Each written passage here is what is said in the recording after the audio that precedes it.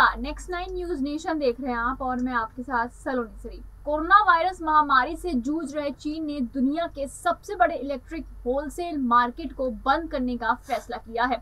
इस हफ़्ते सोमवार को चीन का इलेक्ट्रॉनिक हब कहे जाने वाले होलसेल मार्केट को बंद करने का ऑर्डर जारी किया है। ये ऑर्डर सदरन सिटी में तेज़ी से बढ़ रहे कोविड मामलों के बाद जारी किया गया है। आपको बता दें, दुनिया के सबसे बड़े इलेक्ट्रॉनिक मार्केट में कारोबारियों को आधिकारिक आदेश जारी किए गए हैं। इस फैसले के तहत गुरुवार तक मार्केट बंद रहेगा, जिससे तेज़ी से फैल रहे कोविड को रोका जा सकता है।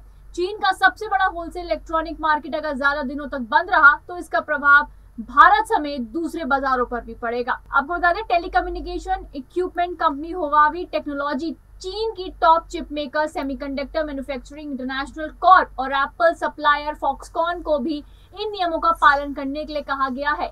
इन सभी कंपनियों को क्लोज लूप सिस्टम फॉलो करना होगा, जिससे प्रोडक्शन शेड्यूल ट्रैक पर बना रहेगा। कोविड की वजह से चीन में जिस मार्केट को बंद किया गया, उसे टेक्नोलॉजी कंपनियों का घर कहते हैं। इस बाज़ार में कंप्यूटर्स के पार्ट से लेकर मोबाइल के छोटे हिस्से और माइक्रोचिप तक के हज़ारों स्टॉल मौजूद हैं।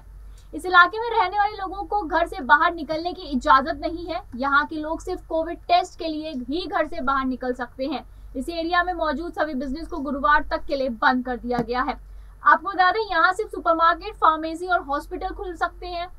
इसके अलावा सभी दुकानें तब तक बंद रहेंगी जब तक अगले आदेश नहीं आ जाते। रेस्टोरेंट तक सस्पेंड है, लोग केवल टेक अवे ले सकते हैं। चीन का ये बाज़ार अगर ज़्यादा दिनों तक बंद रहा तो इसका असर दुनिया भर के टेक्नोलॉजी मार्केट पर पड़ेगा। तो फ़िलहाल की इस खबर में इतना ही। इस खबर पर कोई भी अपडेट होगी तो हम आपको ज़रूर बताएँगे। तब तक ले आप जुड़ रहे हैं हमारे साथ। धन्यवाद।